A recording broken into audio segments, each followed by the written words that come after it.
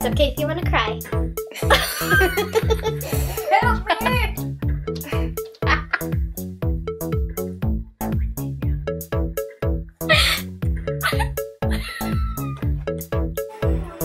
and let's swim!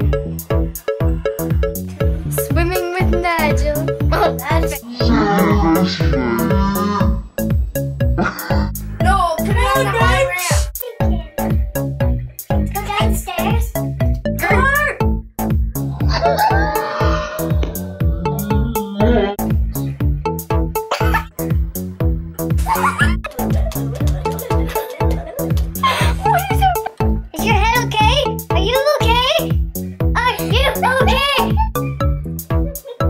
Grandma Helen, what did you do?